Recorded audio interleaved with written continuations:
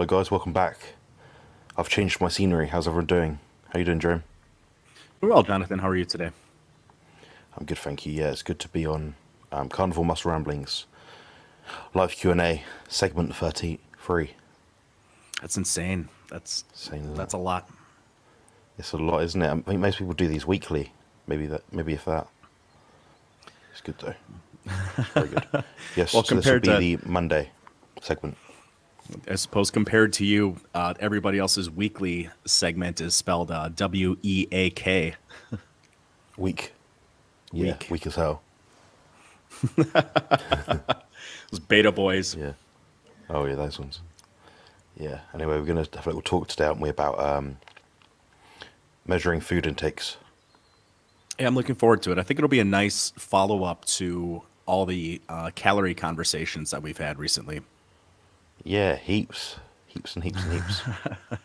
Just Because you know, I think people get frustrated. It's like, oh, you know, you're talking about calories again. Yeah, but I like to look at food labels. I'm like, stop eating foods with food labels on them. It's a bit easier, I think. Yeah, unfortunately, even a lot of steak here in the states, if you flip the package over, it'll give you the not so much the nutrition. Well, yeah, it'll give you the uh, nutrition label, and it ingredients will just say like 100% beef. so Oh, it's mad, it? Excellent, excellent stuff. but I do reference that sometimes. I, I do kind of keep a loose eye on uh, protein to uh, fat ratio of certain cuts. Yeah, yeah. I think you can never be exact. Yeah. Anyway, so we'll talk about. We're going to talk about measuring food intakes on the carnivore diet. And how would you do that? Do we look at calories on labels? Do we look at macros? Do we look at the food itself? Um, is there some sort of other measurement? What we're we looking at here? So, um, I'll probably start by saying on this channel we don't like to talk about calories because they're not an accurate measurement of energy contained within food. But not only are they not an accurate measurement when it comes into when it comes to terms with what we absorb and um, ingest in terms of the energetic value of the food itself, but they aren't a good determinant of how our body composition will change. You know, I've always made that case about um, me not eating for like a week or two, then not losing any weight. You know, I've met loads of people like, oh, I eat a thousand calories per day and I've not not lost weight. I've done an hour of cardio and an hour of weights five times a week, and you know, they're eating like a low fat diet, and just goes to show there's not um, it's not clear cut as in just reduce your calories and increase your energy output. Then that's going to do all the results for you. You know, it's not going to give you everything. I think, but yeah, I mean, w- what is the definition of um, calories anyway? Like, how are they defined? How are they measured? How does that come into it? Yeah, so a food calorie is a kilocalorie, and a normal calorie is the amount of heat it takes to raise uh, one milliliter of water one degree Celsius. So a food calorie would be the amount of energy that it would take to raise uh, one liter of water one degree Celsius. Um, so I know that conventionally calories are used as a way to loosely approximate food intake, but it's a bit arbitrary in a sense to measure a certain mass of food by the amount of energy that it gives off when it's combusted in a bomb calorimeter. Um, our bodies, while we will oxidize food uh, in our mitochondria, um, what we're really doing, and the more precise way to put it is, we're converting one form of substrate into another virtually everything we eat that we absorb is integrated into our tissues or it's converted into ATP and it's oxidized and used for energy. Um, and mass is conserved in all of the chemical equations in the body. Every single chemical interaction, mass is conserved. So it's it's arbitrary to measure the heat energy that's given off as a result of those chemical equations when we really should be talking about mass. If mass is the thing that we're focusing on, either building muscle, gaining fat, or losing fat, then we should be measuring our food in terms of mass. And the further away we get from that, the less. Uh, the Less less accurate we can be, Yeah, really. thank you. I, I couldn't get Yeah. caught up on that one word. Thank you for that. Yeah, I think there's a there's an order of things, and of course now we've been indoctrinated over the last perhaps I don't know I couldn't even say how many years, maybe like fifty years, say to look at calories. Um, it's just one measurement they just came up with and thought, oh, that will do. You know, we can stick this on a label. It gives us people rough idea. Like we know a a banana might have hundred calories, but then a chocolate bar might have five hundred. Mm-hmm. It's very vague. But then, of course, if you have a bunch of bananas, there'll be five hundred calories or more. So it doesn't give you an idea or interpretation of the um, the food quality as, itself, um, the macronutrient composition. Yeah. So what I always find when I'm looking at different videos online, different diet plans, Instagram, you know, people share their stuff. It's like um, I'm eating 200 protein per day. I don't know, 200 fat or say 100 fat, and um, maybe 100 grams of carbs. I'm like, okay, it's 400 plus 800. Okay, it's 1200 plus 900. That's 1100 calories per day, something like that. Yeah. I'm thinking, okay, they're going to tell me how many calories in it. Oh, yeah, and it's only 2,100 calories or whatever happens to be. And they get so hyped up over that number. Like, they've got the, the great grammages below, like, they're completely ignoring. They've went through all that effort to work out, you know, some labs somewhere went through all that effort to work out how much nutrients in terms of grams, macronutrients, protein, fats, and carbs are in different foods. Then they've kind of dismissed that, just said, oh, that doesn't really matter. Let's just look at the bigger number at the top. It's um, quite an ignorant approach, in my opinion. It's it's daft, it's useless, it's um, not very thought out. I think it kind of makes me think how much are people questioning what they're hearing. Mm-hmm. You know, how how often do we do guys like you and I uh, meet during where they're educated people, perhaps in the high intensity training realm, or perhaps the bodybuilding fitness culture itself. You mm think, oh, you, you, know, they're, they're they're spot on people. They know exactly what they're talking about. Then they, it comes to diet, nutrition. Oh yeah, just reduce your calories. I'm thinking, oh wow, oh wow. Yeah, they've got lost somewhere along the way, and it's not um, it's not revolutionary. You know, like when I speak to people from the past, like in bodybuilding years, um, perhaps, like you know, Mr. Britons from like 30, 40 years ago, they weren't looking at calories, guys. They were looking at I'm eating, I don't know, 200 grams of chicken per meal with 200 grams of rice or potatoes. Mm-hmm. That's probably the best accurate, accurate, most accurate measurement you can make for food, because it is what it is. The food itself is the food. You can't, um, you can't, you can't really dissuade from the fact that a 200 gram chicken breast will give you the same energy intake near enough as a 200 gram um, chicken breast, assuming yep. the fat quantities are about the same amount. Then as soon as you start putting labels on it, the food's processed, it's cooked differently. Um, you start adding oils to it. You add different foods like you know, it's, it's been ground up, it's been processed, been tinned. That changes the calorie amount. Um, how do we know that? I mean, a baked potato will have a different calorie amount to a a boiled potato. A potato if it's hot versus cold will have a different calorie amount if you were to measure it at that pinpoint of time.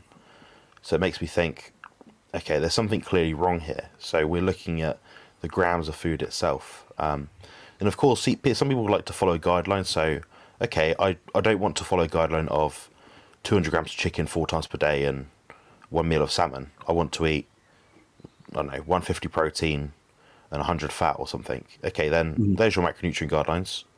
I'll just make sure the food that you're eating matches those guidelines. There's levels to it. Um, so, what people will notice whenever I write a diet plan is I'll have, you know, diet plan, or something along those lines. Nutritional plan, nutritional intake, and it would just say, like I said before, guys, 500 grams of beef mince, 80% lean, 20% fat, six eggs, I don't know, two ounces of cheese, or 56 grams if you're British. Um, then maybe, I don't know, uh, 200 milliliters of milk. I might even just say 200 grams of milk, something you can just chuck on a scale, weigh it. Mm-hmm. That's going to be a pretty accurate measurement because you know you're just telling people to eat the grams of food that they are going to eat.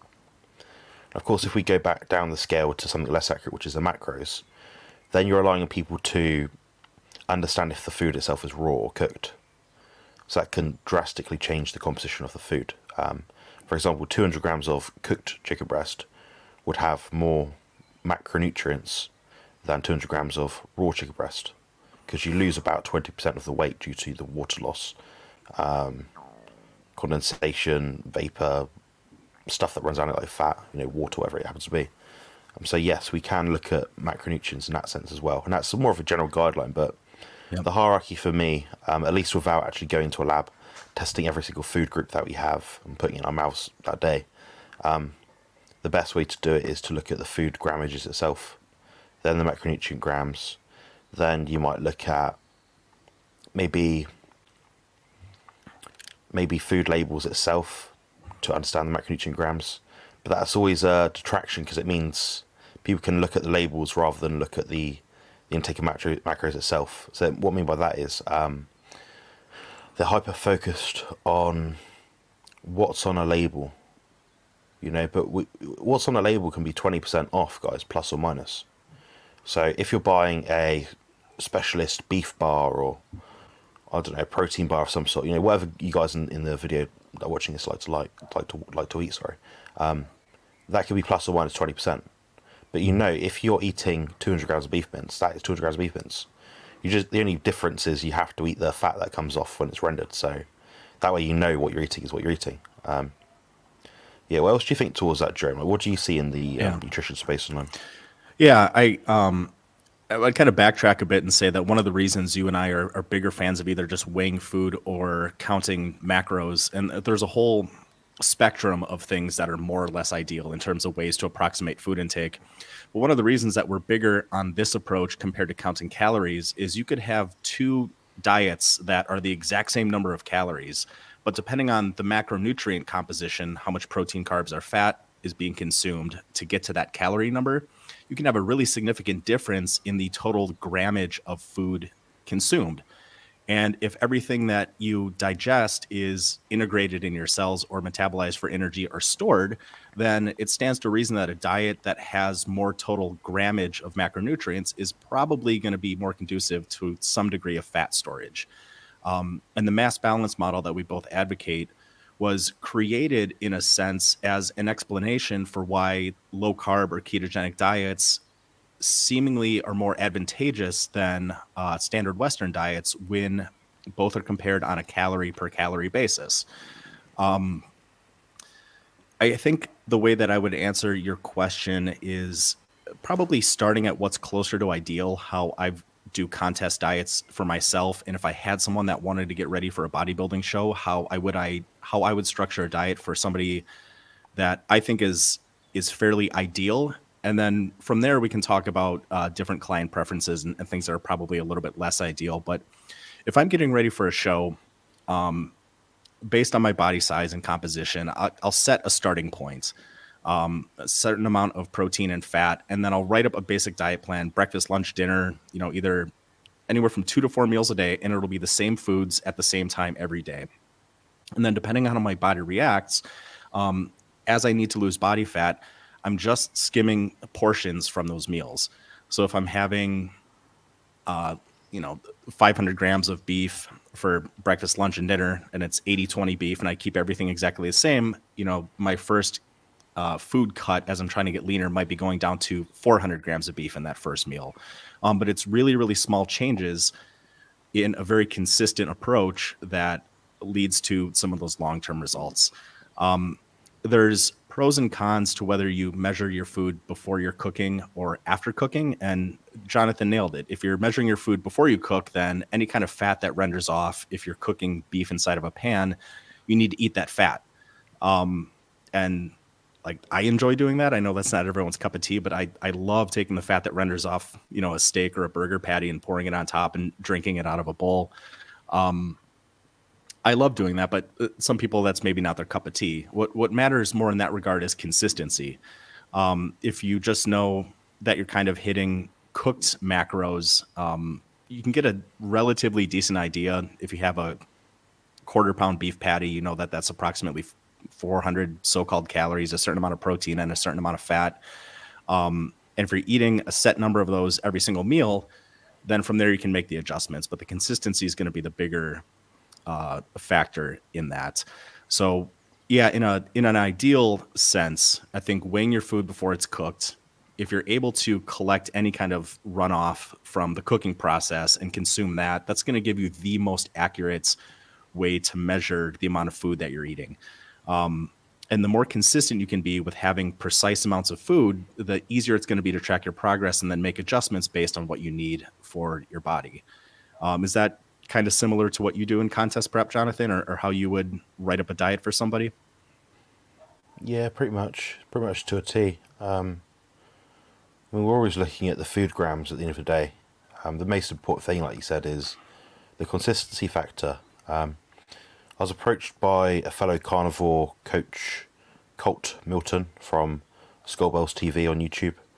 Um, he asked me the same sort of question last week, and basically what I said was this kind of discussion we had off air, I believe, um, about tallow, ghee, lard, butter, and I made a point in that video where I was saying, okay, butter is about 82 grams of fat per 100 grams of actual butter weight because there is a there is a salt component to it and a water component to it. It's not pure solid fat. It is a very rich source of saturated fat by all means, but it's not solid like tallow, which is 99 grams of fat roughly. So um, he sort of he, also, he sort of asked me the question like, okay, so I should reduce my grams of fat for clients by this. I've been just been telling them to have a tablespoon of tallow, but if they don't like that, they can have a tablespoon of butter. I said, well, no, if they've been having a tablespoon of butter, and they've always been having a tablespoon of butter, changing the number for the sake of changing the number isn't going to be useful. You know, there's a level of consistency. If they've always had that tablespoon of butter, um, that's what's the most important thing. You know, just stay consistent with the food amount you're having. So, yeah. like I said, ultimately it comes down to the food you're eating. Um, it it'd almost be ideal for me to say to a client, like, say they're on 500 gram beef, 80 20, and say six eggs. It'd be great if I could just say to them, reduce your ground beef by, I don't know, say 10 grams um, each week for the next four weeks. So 490, mm. 480, 470, 460. Then after that point, I might say, okay, we don't really want to decrease your food volume that much. So what we're going to do is we're going to then um, change up to 15% fat ground beef. So 85, 15. Yep. Then I'd look at the numbers myself as a coach, then identify, okay, we need to up or minus this, you know, just to make sure the grammages of macros are about the same. But ultimately, it's going to follow that way down the line. Um, and then, of course, if they need to add fat, we can buy them tallow, ghee, butter, lard, whatever you like. And you can just eat that from the spoon pretty much, or just put it on top of the food you're about to eat and hope it doesn't melt down to the bottom of the plate and go gooey if you don't like it that way. I don't personally mind it. Joe doesn't either, but some people are funny no. about that. Yeah. But yeah, there's ways around it, guys, so you can um, effectively find a way to measure food intake without even looking at a label. You know, if you always go to the same butcher every week, you're saying, okay, uh, Mister Mister Butcher, we're gonna have uh, two pounds of ground beef, or you know, two pounds of steak. You might have one of those pounds one day and the other pound the other day. The chances are, guys, that's going to be a pretty similar cut of meat, and it's going to be pretty similar to the fat and protein grams. It will mm. not be exact, of course, but to get really exact, guys, you're going to have to sort of find a super lean cut of beef, then add separate fat grammages to it itself. So you might buy beef fat trimmings with that. That's the way you can be super duper accurate. But then you have to like beef fat trimmings or add butter to it. But then it kind of goes further away from like the pure beef diet that some people like to follow. So a lot of people have issues such as histamine intolerance, perhaps. Uh, maybe they can't process uh, rendered fat very well. Perhaps they do better with um, dairy fat, like myself. I don't know. There's mm-hmm. lots of different ways to skin a cat, but um, we can simplify it. And it's it's strange sometimes when I make a plan for someone. I sort of say, oh, "Okay, I want you to eat this food." Then they're asking you about like the calories, and I say, "I've given you the food here. You don't need to worry about the calories." Because the only yeah. reason why they want to know the calories is if they can eat food that has um, that comes from a product which has a label. Because you you you need to buy a pack of beef mince, guys. It comes in a pack of beef mince, and yes, it will have like calories, protein, fat in it. Um, but that's going to be pretty consistent across the board. But you know, stuff that's in packages can be all sorts of different things. You know, processing of like the grains, the flour, I don't know, the seed oils. Um, all these things change their their weight effectively and their composition in terms of like you know if they're saturated or not, if they're rancid. You know, all these things come into it. So yeah, the um, calories thing should be by now um, stomped off, dismissed, ignored. Hopefully, um, that might be about the end of it. But mm-hmm. do you have any sort of added comments to make to that, Jerome?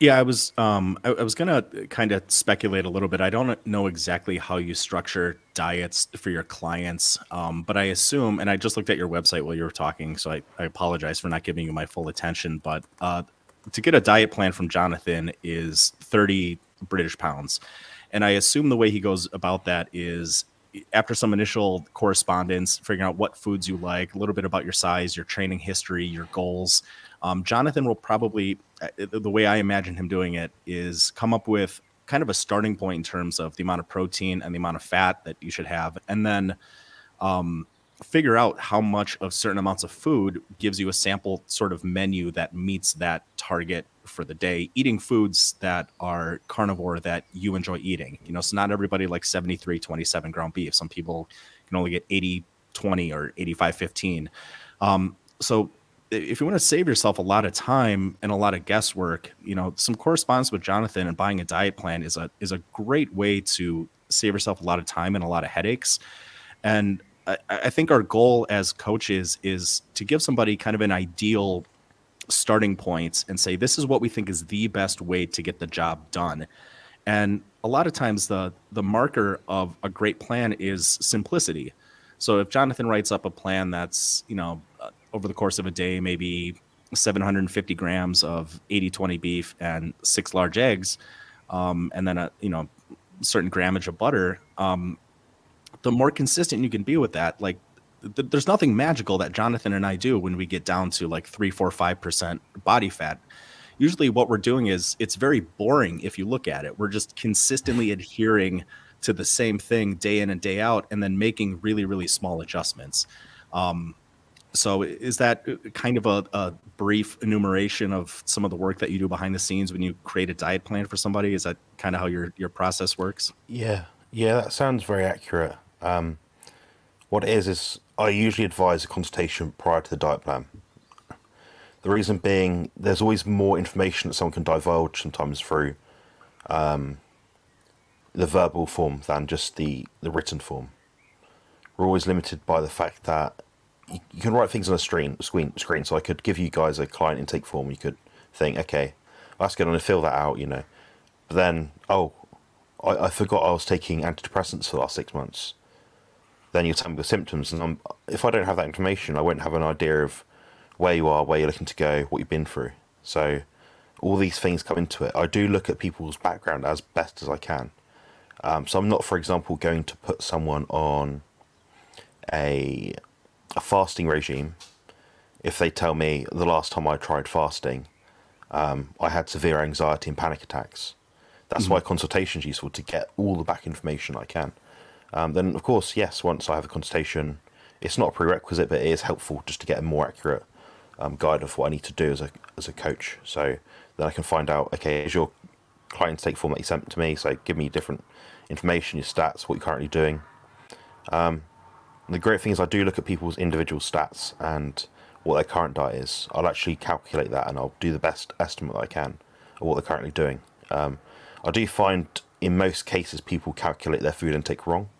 So. I'll look at what they're saying to me. They have they say I can I have the case again like the 500 grams of ground beef, 80 20, six eggs, 50 grams of butter. Um, then they'll tell me okay the macros for that are this this this and this, and they'll tell me oh it's raw cooked. I'll then actually look those foods up with the best analysis software that I can get, and I'll see okay that's quite far off. You've been over or undershooting your your macronutrient intake by plus or minus perhaps 10 grams sometimes.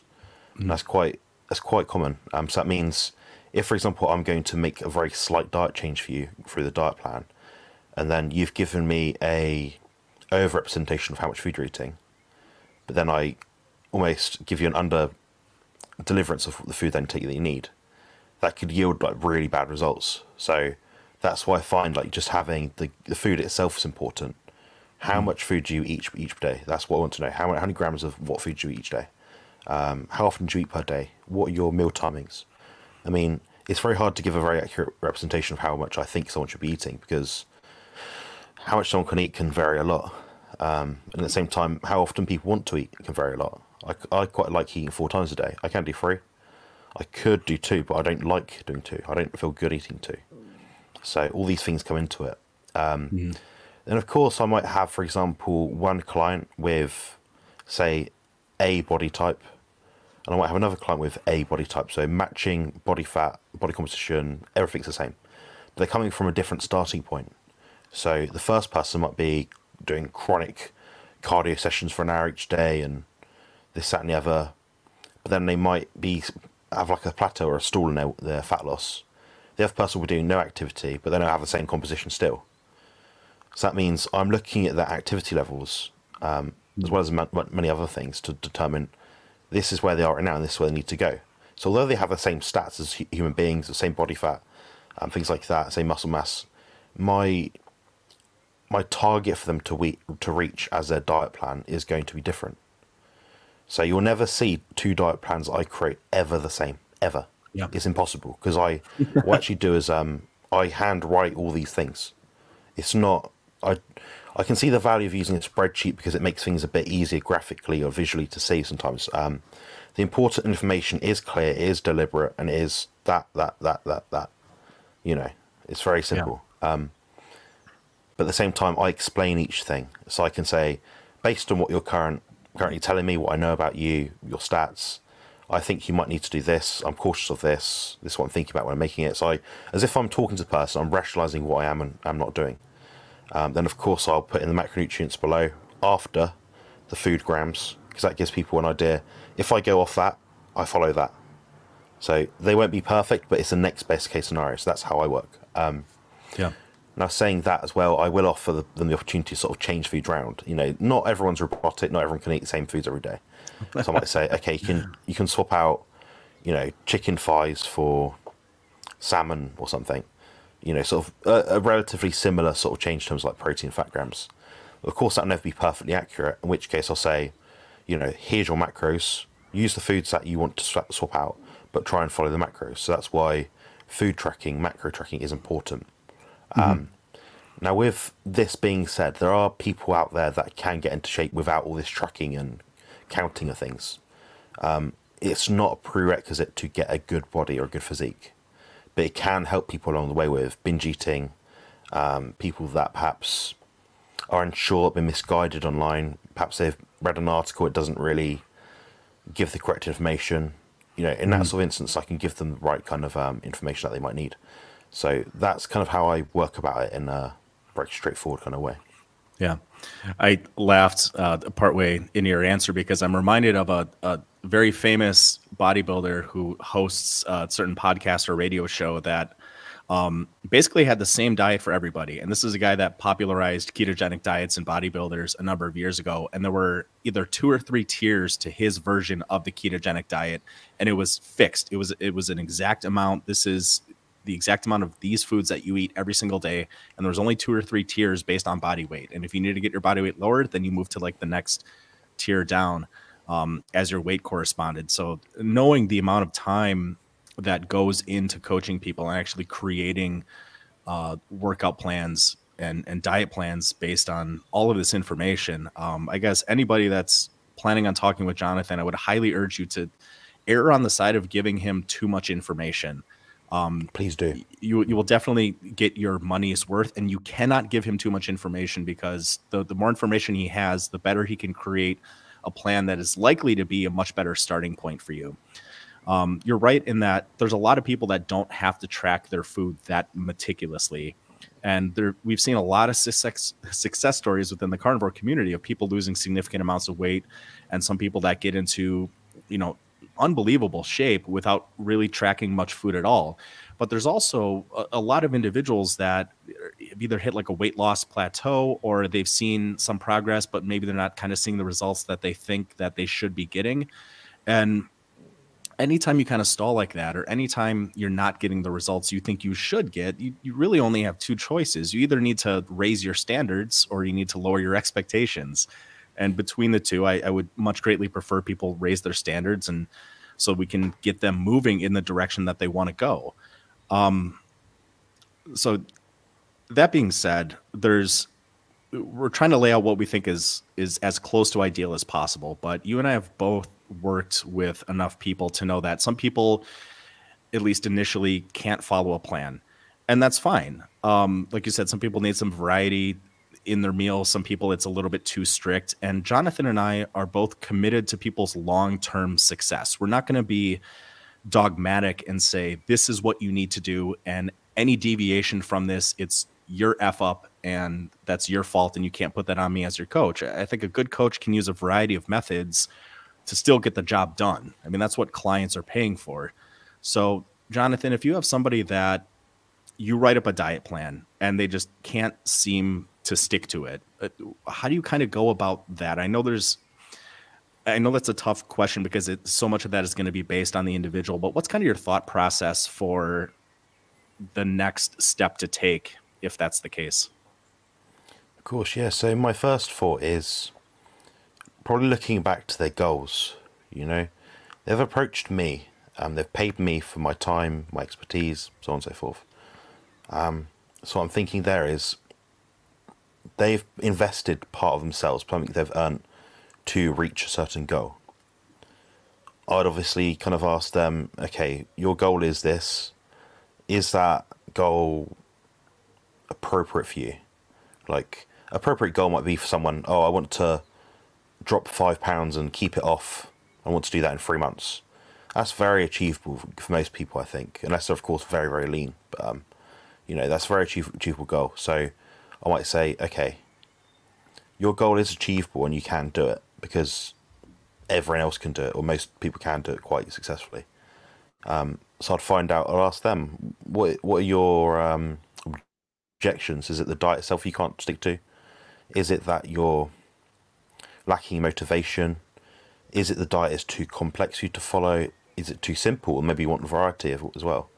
Mm-hmm. Is it that your social circles, your space around you, people eat lots of um, bad food, so to speak. So there's a few ways I'd go about finding out what the problem is. But of course, the first thing to know is what is the problem.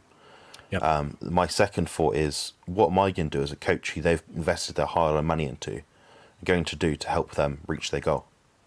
So I'll then ask them, okay, what can I do to help you? And it might be that I can't quite do anything because they need to have their own their own way, their own sort of path that they need to follow. Perhaps they need to speak to someone that has the expertise that I don't have. Hmm. Um, perhaps there's some kind of some kind of extreme kind of like appetite they have because of all the fasting, all the dieting they've done in the past. Perhaps they've been volume eating for a long period of time, or perhaps also on the flip side they've been under eating for a long period of time. So me getting them to where they need to be eating in terms of like to reach their goals could be different. Um, so what I always kind of say to people is, my aim by the assuming I'm in a coaching sort of situation or a diet plan and consultation situation, I'll say, okay, my aim by the next two weeks is to identify what makes you feel better, um, gets you close to your goals, or at least keeps your body composition stable. So, okay, mm. from that information, I know, you know, I'd ask them, okay, you've got 95% adherence or 90% or whatever they have, to tell me. Um, the close to 100% it is, the better. It means I can make changes a lot more um, appropriately and as needed. And of course, the good feedback is also important. So we're looking at recovery, um, stool frequency, perhaps blood tests if people can afford to take them. Um, how, how's your skin quality? Is your hair falling out? Um, are your knees sore? What's your energy levels like? Are you sleeping properly? Um, are you moody? All these things are things that I do ask people, or at least um, in some cases make it mandatory that they feed this information back to me because it means I have an idea of where they've been through before, where they're trying to go, and what things they're um, conscious of it, what things they're conscious of. So I can understand, okay, this is what I need to do as a coach to improve their experience with me as someone that's um, been coached into my experience, my um, kind of path, kind of thing. So yeah, yeah I think understanding their why is important then also understanding how you're going to help them is also important. Mm-hmm. So it's always going to be um, a multifaceted approach, and for most people, it just means one thing has to change. So, like I said, once their weight's stable, I've got a, a, a relative like balance of what I understand them to eating each day, their adherence levels. I can then decide do I need to make an adjustment or not. Mm-hmm. Um, the important thing as well is honesty. If someone's saying they're looking at the food intake I've given them and it's too much food, like a, a lot of food for what they think subjectively. Um, they they what they think is a lot of food. I might then think, well, they might think, um, oh, I need to start, start burning this off a bit. I'm gonna sneak in some more cardio sessions. That makes my job harder because I'm then fighting against another piece of information which I didn't know about. Yeah. Um, and it's not necessarily a problem because people don't stick to the plan 100%, but it's very helpful when people can outline what's going on.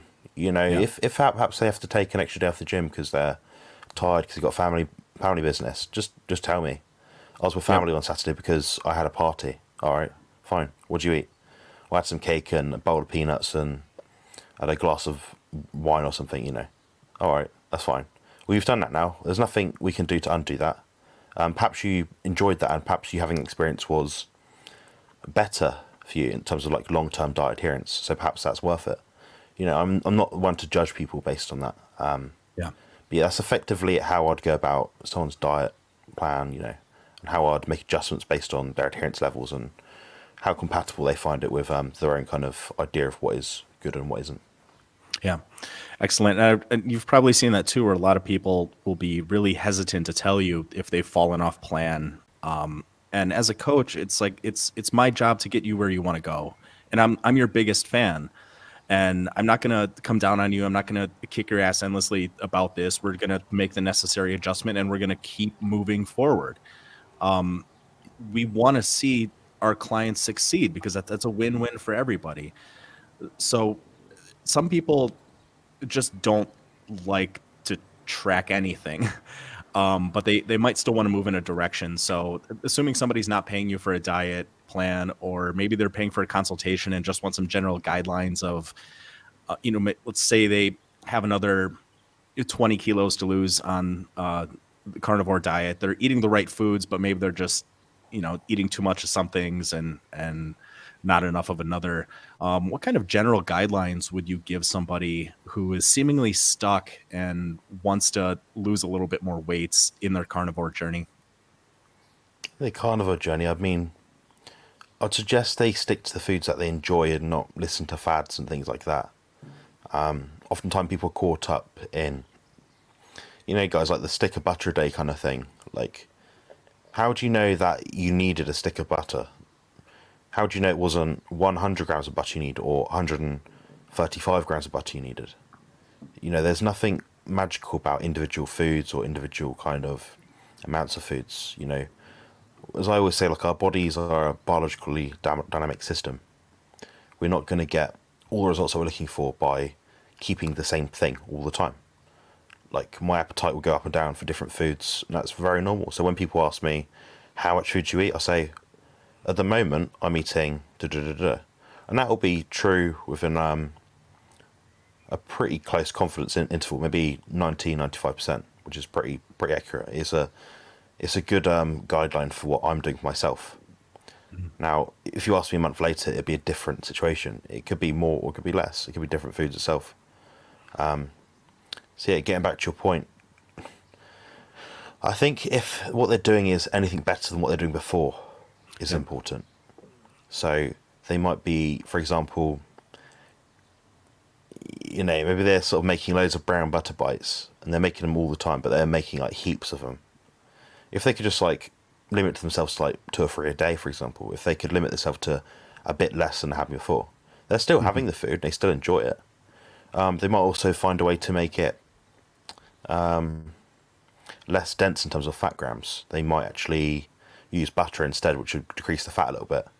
Um, that might be a nice alternative as well. So they might be doing tallow bites, then butter bites. That's like a, a very simplified example, but you know you'll Yeah. get people as well that are perhaps volume eaters. They're like, I must eat uh, six burger patties per day. Okay. Well, what you can do with those six is put them into a big mold, like squeeze them all together. Then take maybe ten percent of that meat off, and divide it by six again. You're still having six burger patties a day. You're just eating Yeah. less food. Yep. So you know, people don't people don't know um, sometimes what to do. And I think that's quite quite a troublesome thing. That's why coaching is very valuable. Yeah. Um, trying to think of more examples really, but Yeah. what what do you suggest, Jerome? Well, I, I just want to start by saying I apologize for the the kind of vague questions. Um, in in a certain way, writing up really precise diet plans is is it's a lot of work, but it's it's relatively easy in a sense. Um, but I, I'm trying to ask questions so that we can kind of cover the entire spectrum of anybody that's looking to improve their body composition anywhere along the, the, spectrum of people that will follow the most rigid of plans, you know, 100%, you know, what's ideal. But then I also want to try and cover people who don't want to track anything. They don't want to eat carnivore. They, they want to be able to eat the foods they want to eat. And how can we give some advice to those people as well? Um, because too many coaches will just say, this is the plan and you need to stick to it. And if you can't, then that's your problem. And I just despise that mindset. So a lot of times, when I work with people. And most of what I, almost everything I do here in my studio is, is workout oriented. And I'm happy to discuss diet and nutrition with people. But um, usually the first thing I start with, with the people that I have, is just make better decisions. Um, and I'm just trying to create really basic habits.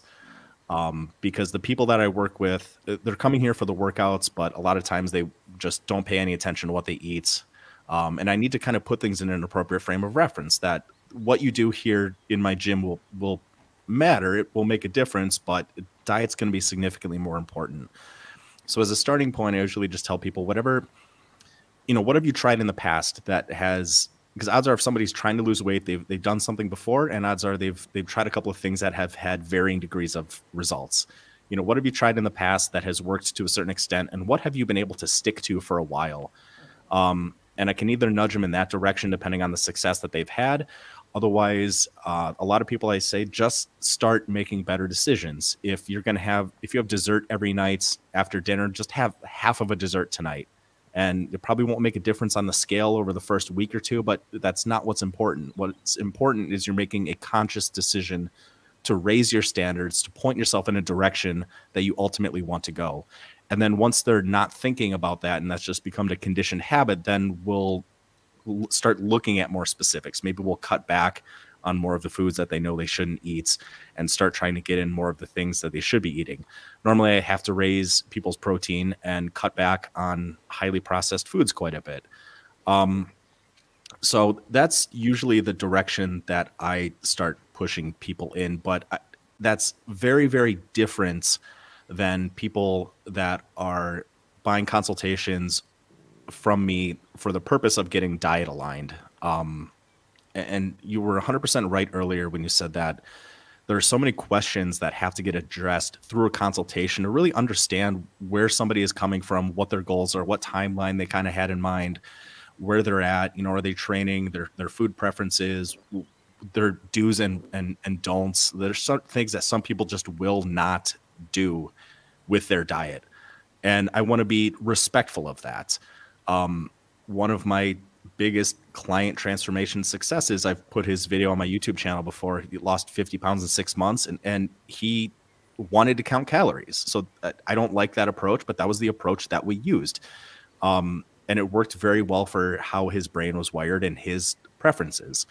Um, so yeah, the old adage, there's a million ways to skin a cat. I, I look at it like there's a roadmap. And if you want to go from one city to the next, the, the fastest way to get there is going to be taking the freeway. And that's going to be weighing your food and eating as close to the same foods every single day. Um, that's going to be as close to taking the freeway as possible. Counting calories is like trying to take the back roads the entire way and zigzagging all over the place and making tons of stops. It'll still get you there. It's just a less efficient way of going down that road. Um, so yeah, it's it, it really depends where somebody is at. And to steal that line that you use a lot, it's it's how long it's a piece of string. Yeah, that's that's great advice. The things I think I can add to that really. Okay. So I know right. we've I know we've rambled quite a bit. Yeah. Um, we were certainly willing to take any questions today. They could be about tracking food intake, um, could be about training, but um, I, I think the way that we're going to be taking these ramblings, like you said last time, is we're going to have a topic that we mull over for a bit of time, and then time pending, we'll certainly take any questions that come up. Um, but I think this is really important because there's a there's a big gap of people when Jonathan and I put out content and we say that you know calories are a poor measure of food intake. Where a lot of people say, okay, I get that, but what do I do now? And and hopefully our ramblings today kind of give people some options of how to go about that if they're not going to track calories. Yeah, the, the, the point of my channel is um, I'm sure Jerome Armstrong's channel as well. If you guys aren't subscribed to that, please do. The point is to provide helpful information, um, to learn from each other, and actually provide solutions. So you won't catch me putting others down without providing a solution to the problem they're causing. You know, like I've made some different videos recently. Um, I've got another one out which is about a vegan bodybuilder talking about stuff. Um, you will see me put him down in the video, and I will put him down quite a bit. But I've been very fair with my critiques, um, been very honest, and it is with the best intentions in mind. So, mm-hmm. you know, just just bear that in mind when you're watching my videos. It's um, it's not of malice aforethought. It's for everyone's benefit, and hopefully, as time goes on, everyone's entertainment. Yeah. And I, I, love your expression of aligning physicals with positive health outcomes because um, the long-term success rate of people that want to make a significant change in their body composition is like less than 5%.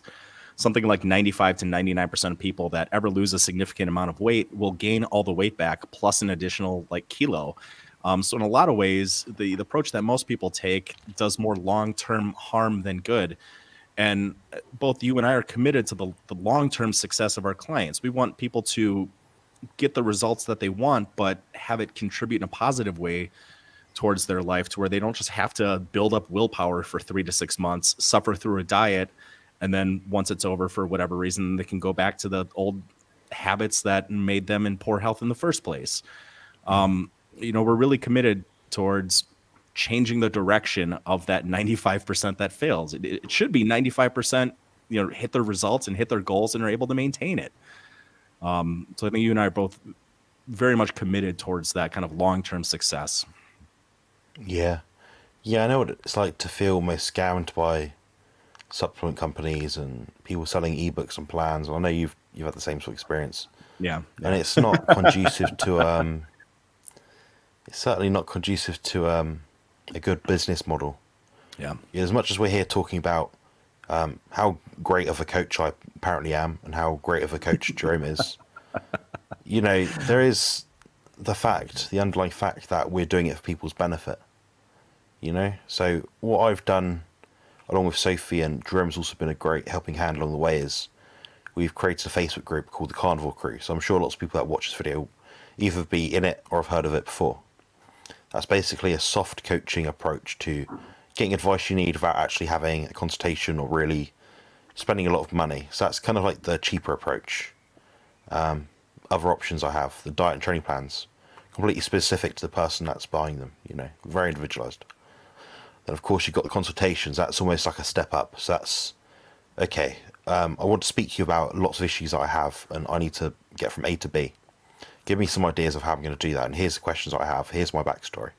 Yeah. You know, I can quite succinctly answer your questions and um, provide a good outline of what you need to be doing, or at least what I think is most useful. Um, the next option, of course, is the coaching, which is a more expensive service, although still half the price of the next nearest person in terms of experience and um, academia. I think the next nearest person in price actually has less experience and academia, but you know, the next nearest person in terms of price to, to me and the carnivore community. So that's what I'm getting at here. But um, yes, of course. Then obviously the next thing as well is to add on consultations onto that. So I have a, a multi-tiered approach to access my information we've got the YouTube videos, we've got the group, we've got diet training plans, consultations, coaching, then the coaching plus consultations, then all yeah. of the above if you um, want to proceed. So between that, if I can't help you, the problem is probably out of my expertise, which is so far not happened, at least in the cases I've had with different clients. Um, it might be that you have a severe binge eating disorder.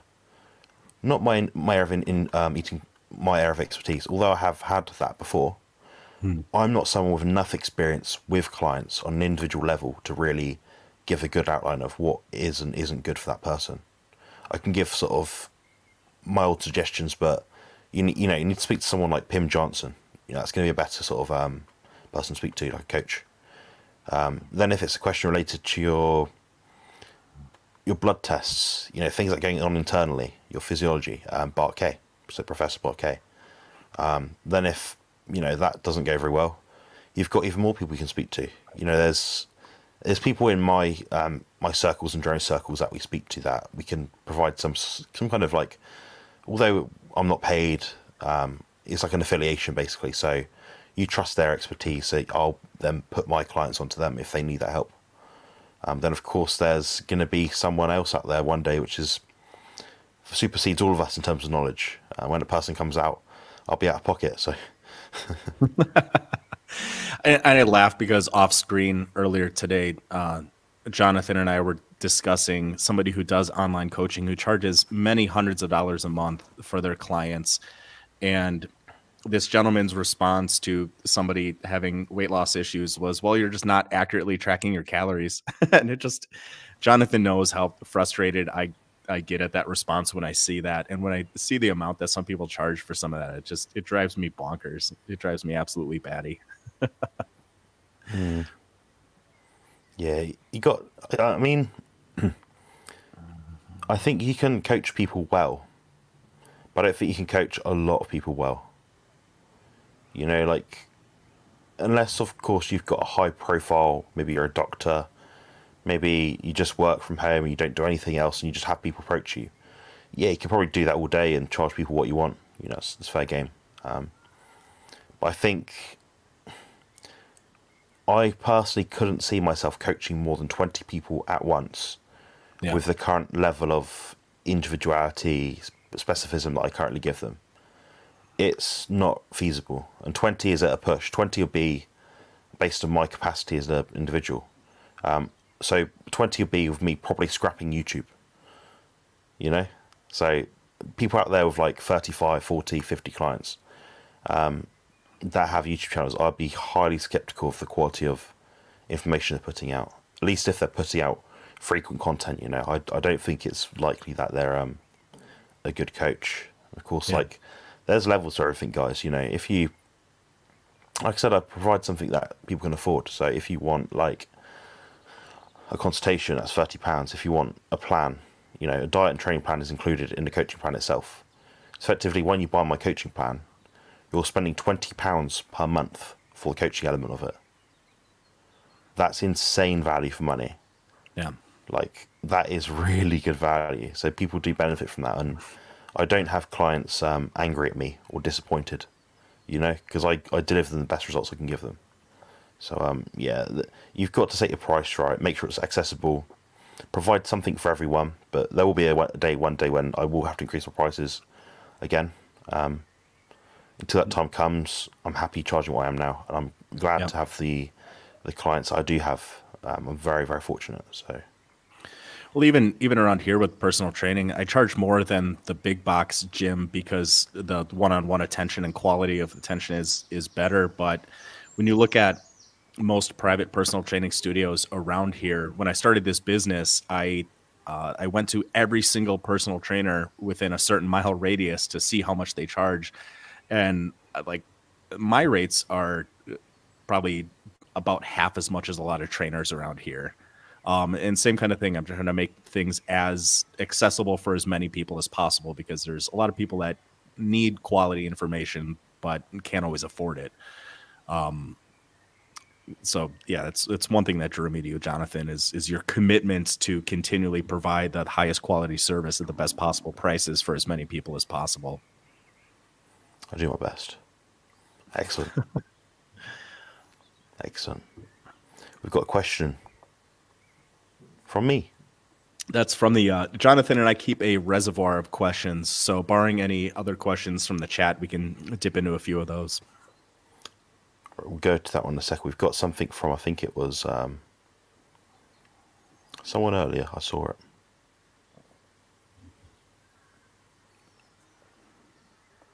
Not a question. Sorry. One week high fat, no dairy report, but went from 20 hours eating, 20 hours not eating to four hours eating Two months ago, I'm naturally eating half a kilo of meat and fat till full. Slight weight loss, better sleep, enjoying the pork crackling and lard so much. Yeah, doesn't surprise you at all. Excellent. Yeah, it'd be interesting to hear your macros if you know them, Tom. Um, I do notice actually saying that, like when people do the lower protein, high fat approach, they do tend to lose weight. At least immediately tend to lose weight. Um, but that's coupled with the lower protein itself. It's not like you can just go full hog and go nuts with the protein. You know, it's the lower protein. I think the um, the low insulin state probably comes into it a little bit. Yeah. yeah. That's great. I, am a little surprised that taking it from a four hour two meals to one meal has led to better sleep. Um, but that's awesome. I'm I'm jealous of of quality sleep. yeah. Yeah, I, I would love to do OMAD like like at least the days I can follow it, not like when I'm maybe train. I think I think to me two meals is a must for training, at least in terms of the amount food I need to eat. But it'd be yeah. so good one day if like so I'm like a six year old man and I'm just doing like two weight sessions per week, for example. Yeah, yeah. OMAD would make life so easy, be so much more productive.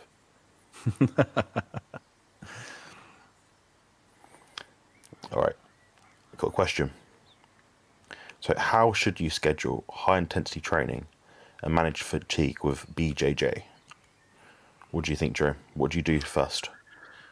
Uh, the first thing I would do is Brazilian Jiu Jitsu, those guys train their asses off. And people that there's a mixed martial arts gym right down the road. Uh, they have multiple training sessions a week. Um, I think they do BJJ four nights a week for about two hours at a clip. Um, I would try and put your HIT session probably no more than one a week as far away from most of that training as possible. Um, any type of sport training, just due to the number of repetitions that have to be performed to maintain good athletic form and performance, um, it can be really, really challenging to try and schedule proper resistance training during a competitive season or anything a little bit more hobbyistic. So I think of Steve Maxwell, who has a has the first Brazilian Jiu Jitsu gym that opened on the East Coast, I think in the 70s. Um, he's trained Ronda Rousey, he's trained Royce Gracie, and he didn't have, or he doesn't have his people do HIT training more than twice a week. And most people that he has, and these are high level mixed martial artists, are training only once a week because the amount of demand that that is on their body between high intensity training plus all the mixed martial arts training they do is is almost too much that they can recover from. Um, some people, depending on how competitive you are, collegiate or, or possibly professional athletes, might not be able to tolerate any strength training at all during the competitive season. Um, but ideally, probably once a week, maybe twice if you can tolerate it, maybe three times if you're a freak. Um, but as far away from your sports specific training as possible. Yeah, that's the way I'd, I'd probably formulate it as well just for the point of um, reference to someone that I know that follows something similar. So they train very, very hard. Um, typically in a bodybuilding split, they're doing four sessions per week. They're also doing BJJ like twice a week, I believe. So enough to learn the skill set, but not so much that they're tired, fatigued, and they're um, wearing themselves down. But what they've had to do basically is reduce their training, does the gym stuff, like three, times a week. Um, so yeah, the, the, the first thing to do would be to split it up as best you can. That's yeah. probably the most key um, thing that I'd put across. And of course, then managing recovery as well is tough, especially if you're doing different sports. Um, you might even try to say, for example, you've got a push day, so chest, shoulders, triceps. But say you know you're doing a lot of grapples with your arms, you might actually put that session further away from your push push session. So it might be that you're doing less pushing movements and grappling and squeezing kind of movements. Then if you know you're doing more, maybe footwork, maybe you're doing something more fitness related, more intricate, maybe I don't know. Then you might actually mm. put that um, closer to that sort of session. So I'd probably aim for the, you know, I'd listen to your body in terms of your soreness in different muscle groups and how strong you feel. I mean, my strength after doing push day is not back up to speed for at least four to five days after. Yeah. And even then, it's still not quite hundred percent. So you might try and tail end your your pushing muscle groups to that tail end of the week. Um, that's probably how I'd manage it, and yeah, hopefully and this uh, answers the um, person's question. And if fatigue is really high uh, to the point where it's affecting performance, something is going to have to go. like your body has a limited capacity to recover from physical stress, so. Um, yeah, definitely start by trying to split up your workouts, but at, at some point, um, you know you may have to keep reducing or you might even just the brazilian jiu-jitsu training in and of itself could potentially be too yeah, much. you can't do everything can you? Yeah but that's that's a value judgment that somebody has to make based on their performance and you know what is it just kind of a hobby they're doing? Are they hoping to actually fight? There, there's a lot that goes into that. And somebody needs to kind of make the evaluation on how it's affecting the quality of their life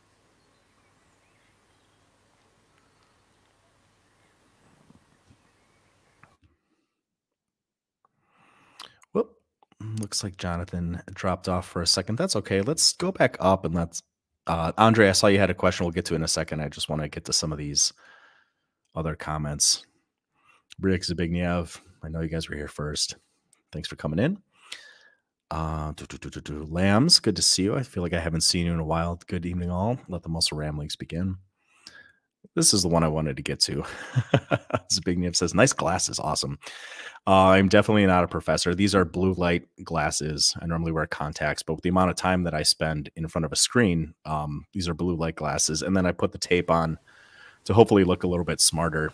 Um, but this isn't actually serving a function. So I'm just hoping it makes me a little bit more attractive. Try right, desperately hard, Drew. I yeah, it's a lot of work. It's a lot of work to wake up and look completely disheveled and uh, sleep deprived and uh, dependent on stimulants. so, but now that Jonathan's back, we have to get back to serious time. oh yeah, we'll see what's going on. Yeah, apologies, I left you guys. My um, Wi-Fi decided to go. Probably got time for one more question.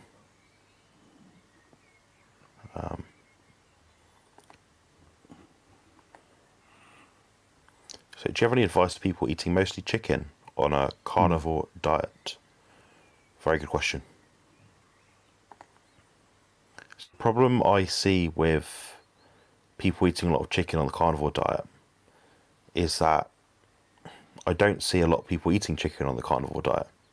It's a very good point and something that people would look at initially. You know, most people out there, like they go from a standard Western diet perhaps to a carnivore diet probably or typically eating chicken a bit more than eating beef. Uh, we know the sale of chicken's gone up, and the beef was beef sales might not have gone up quite as much. Um, it's a lot easier to put sauce and fry chicken versus beef. You know, there's more things we can do with it effectively, especially on the Western diet.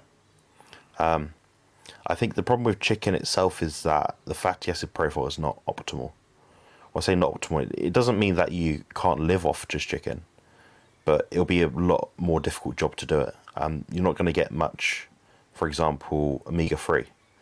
The omega six value will be a bit higher. Um, not again, not detrimental, but perhaps not so much of a good thing. Mm-hmm. Um, then, of course, with chicken, you have to be eating the skin and the thighs to get enough fat in.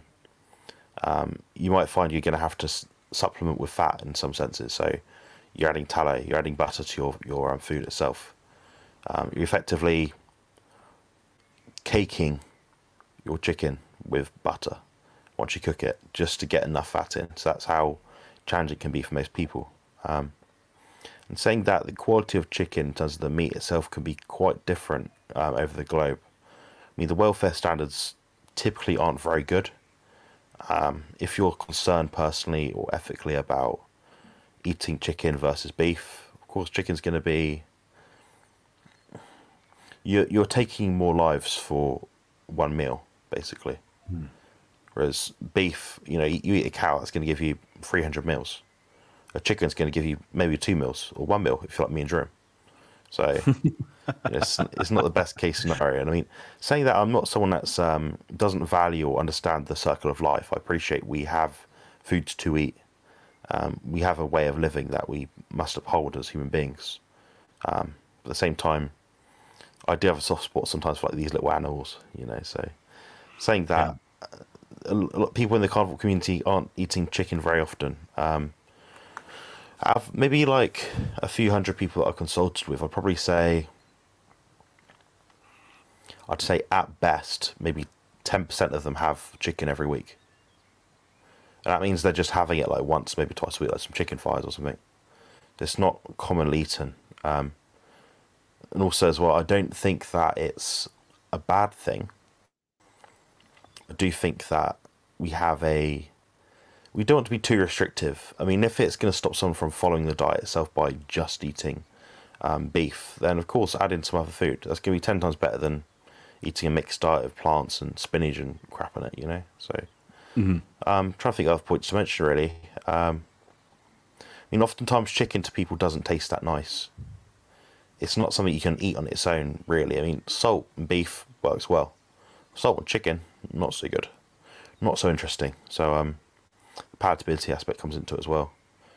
Um, and of course, if you're a bodybuilder like myself or Jerome, we're bored of eating chicken breasts now. We've been doing this for like probably a decade. we're sick to death of it. So that's another reason why Jerome and I probably aren't the biggest advocates of eating chicken. But do you have any Yeah. thoughts on that, Jerome, at all? Yeah, if I never eat a uh, boneless, skinless chicken breast again in my life, I would I would die a happy man. Um, I've done that for so many contest preps. Uh, I enjoy, but I seldom buy bone-in, skin-on chicken thighs. Um, I, I don't. It's yeah, I'm a pretty lazy cook when it comes to carnivore, but I used to cook for my family almost every night. So yeah, you can get chicken's a little bit more of a blank palate. You can you can get a little you know interesting with seasoning. So um chicken thighs you know seasoned and pan fried in like i love cooking with ghee because that has a much higher smoke point than butter or even a lot of tallow. Um deglazed with a little chicken stock maybe a little white cooking wine uh, maybe a little bit of lemon juice and add some butter to that and you can kind of make a reduction and put it over your pan fried uh, chicken thigh. It can be really delicious um, but um, yeah, I just and I haven't had chicken wings in a while, but I know some people in the carnivore community like air frying chicken wings. But even then, um, getting enough fat can be somewhat problematic sometimes, depending on your cut of chicken. Um, I'll have it occasionally. I'm just not. I'm just not a big fan. Yeah, yeah. I think it's a good entry point for some people.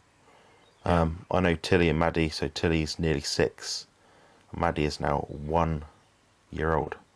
Um, they'll have chicken mixed on with other things. You know, they might have a chicken omelette with a bit of cheese in it. Um, giving them a ribeye steak might be too tricky for them to eat. You know, when their teeth are a bit wobbly, when they're growing teeth, when they've not got a strong bite, you know, eat, biting through a fixed uh, cut of steaks can be hard for them to do. So chicken's a bit easier for some people, I think. Yeah, I say that you Oh. can slow cook these things, and we do. You know, we do that sort of thing. But um, it's more of a mixed diet for young ones, but more of a quite a straightforward. I eat probably about four or five foods most most days. So the next uh, cooking video I'll do, I'll make chicken piccata, which is just a it's uh, chicken stock, lemon, and butter kind of uh, reduction after you're done pan frying your chicken. That's a decent way to get a little bit of sauce with some flavor and also get some fat in. Uh, you can get a little bit liberal with the butter and it'll just thicken your sauce up uh, quite a bit. And then if you like salt, the, the capers are traditionally added to piccata. Um, but don't tell Jonathan I'm eating capers on occasion because he'll take my carnivore card. oh yeah, that's right. I, don't, I don't think things like that are the worst things to eat. To honest, it's one probably one of the safe things. I've been known to have cucumbers sometimes, some sometimes not often, maybe a bit carrot. Um, I could probably count the amount of times I do it, like maybe on one hand over the last year, so it's not a big deal for me. But I do quite like pickles sometimes, like a couple of slices Yep. pickles. Yep. Um, just gives you a different taste.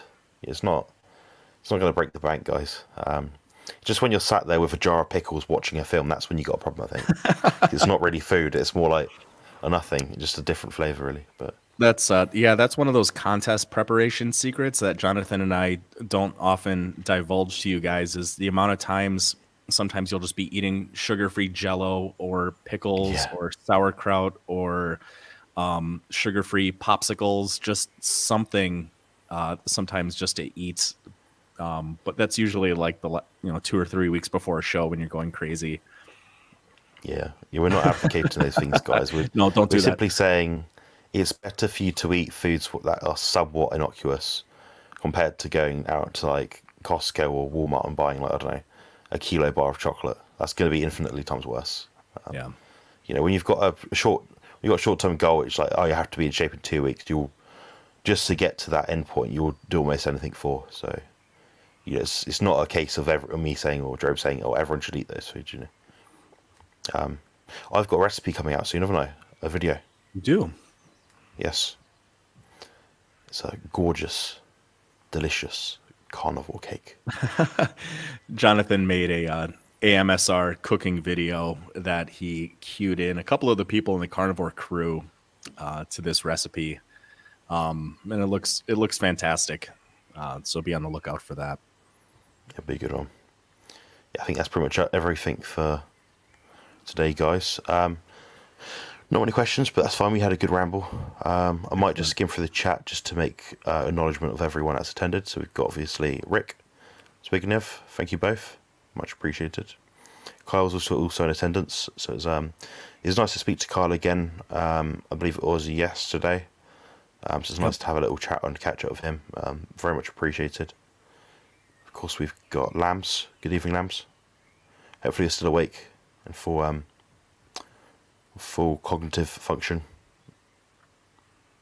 I make jokes because he's a bit older. Ah, what are you saying? And then we've got Rick. We've got uh, Rich or Rick as well. So that's inner circle. Um, baddest cat. I don't know baddest cat's name.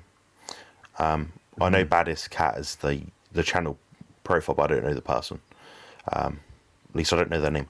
We've got a deck, of course. Good to see you. Thank you for attending. Um, hopefully, we've given you some useful advice to share with the steak and butter gang on exactly how to manipulate um, dietary intakes and what to do in the best possible way, which no one else will tell you for some reason. I don't think a lot of people dab board as think well. about. I don't think a lot of people think about some of these things on the the level of depth that we do. I really should save some of the messages that we send each other, just analyzing just the most obscure things to the nth degree. that conversation we had about like measuring fat that comes off meat or if i if if i had 80 20 gram beef and i cooked it then cooked it this time for this long and then i Yeah. weighed it off was it weighed this but then the fat weighed this that means this much must have been water fuck me and then I, and then taking my taking my nonstick pan and trying to get every last drop of fat off and just shaking it to get the last little drips and then having that on my food scale so I can measure how much of that rendered fat was coming off. Yeah. makes you wonder if you wait wait for that like pan to like cool down get like a thin layer of like tallow over it you also want to like, get like some sort of like spatula and just go around Yeah. all of it and just, And just get scrape it off and then then weigh yeah, it yeah It's a good idea. A bit like that cake video I made where I was trying to get every last drop. yeah. Yeah, we have uh, Carnivore Dad Board in the chat. Um, Sophie's here. I pinned her message. Thank you for attending, Sophie. Hope you had a good training session. Yeah, I'm glad I actually went to the gym this morning. I had a leg session, and um, Sophie, it gave, it kind of gives Sophie a chance to train a bit more this week. Because also, I'm going to be best up because I did legs. So. Of course, Tom, thank you for attending as well. Um, And thank you for your continued membership to my channel. I do appreciate that, and um, it is something I'm looking to push a bit more in the future. So um, I may at some point make these chats membership only, at least the the live Q and A ones, just because the amount of value that Jeremy and I put in these is um, world class. You know, it's, it's solid stuff. Um, I think we should monetize it. When I say monetize, the- I mean I, I mean I mean like charge you like two dollars per month for um, Right. It's- hours and hours yeah. of our time. That's exactly what I was going to say. Two dollars a month is, uh, you know, it's half a cup of coffee at Starbucks. You know, Yeah. and I, I know people in corporate America that go to Starbucks every day on their way to work and spend five or six dollars on a cup of coffee. So Yeah. People do. I- Honestly, when I was at uni, guys, um, there were. So I went to the university that's the most diverse in the country and also the most poverty stricken. So people that went to my university were very, very poor people, you know, very poor. Um, they'd come from like a low economic background household thing, low social economic backgrounds, they call it, I think. Yeah, nearly all of the people in there would like queue up to go to Starbucks, wherever the coffee shop was, and spend three quid on a cup of coffee. I'm like, how are you affording to do that? That's like, at the time, that was like two meals for me. I, was, I don't know if people just drank coffee just to like appear good and popular and cool, but yeah, Yeah. honestly, guys, two dollars, the value is um insane. There's something for everyone. that's Uh, and thank you as uh, well, Jenny, for attending. Um, just going to put her comment up here. So, yeah, thank you for your kind acknowledgement. It's nice to work on a quite nice personal level with people, you know. Bear in mind, um, Jenny's approximately the same distance from me as Jerome is in a completely different continent. yet you're able to still communicate with people and give them advice and help them out. And um, in return, you're able to sort of hear their experiences, and it's nice to see people progress and learn things along the way. So it's great stuff. Of course, as well, hit the like button, please. Um, I think that's pretty much it for everyone. Excellent. Just want to put this in. Um, great interview with Dr. Shawn Baker. Yeah, it was good. Um, shame about the sound quality, though. It seems to be kind of a reoccurring pattern that we've had recently. Mm. A lot of work behind the scenes. Yeah. Yeah, I went to um oh, what was it? I went on one of my friend's channels actually, um where I'm going to be on his channel again soon, so we did like two or three little rambles. Uh, I've sent him the audio file, so hopefully he'll match it to his file and it'll be good quality, hopefully. So it's just when you hear your own audio that you've recorded on your end of the the um the computer line software, internet, whatever, it's like, like immaculate. It's immaculate, honestly. Like it's as if you're in the same room as the person. Like, you can hear me breathing. You can hear like the bass of my voice of each kind of word that comes out. But then you go and hear it on someone else's channel, and you're like, "Oh my god, what have you done?" but then it's it's it's it's crazy because I can get Jerome's voice on my computer from his end without going through the internet. Um, well, basically, anyway, pretty well, pretty good quality stuff. So, you know, I'm rambling. Um, so yes, if you haven't, guys, please watch that into Dr. Shawn Baker. Also, please watch my interview with Jerome, which came out I think two days ago. I think it was Saturday. Something like that. That was excellent, Thank you. excellent. I was I was certainly inspired. Hmm. Thank you. All right, we can le- leave it there now, guys. Um, so we'll be back next week, Jerome and I. Um, we'll also, well, I'll also be here tomorrow night at eight thirty UK time. So stay tuned for that one. Uh, I'll be there, joined with Mark Ennis and Colt Milton. So that'll be called the Carnivore Coaches Corner, and I think that's round nine or ten. So keep your eyes peeled for that one. Um, that will be in the same format as this video. So we'll have a little talk first. Then, if we get some questions related to the talk that we're going to have, then we'll be able to answer them at the end of the chat if we get time. Um, the caveat is if we get time. So I, I can't make promises there, but we are conscious of answering people's questions and providing value to people because I understand you guys are here to learn something, and um, we're here to teach you something if we can. Um, and if we can't do that, then we've failed. So Yeah. not good. Jeremy and I will be upset for like hours and probably lose sleep over if we do fail. So Yeah. failure is not an option. no, excellent. All right, cheers guys for watching. I'll see you guys soon. Awesome.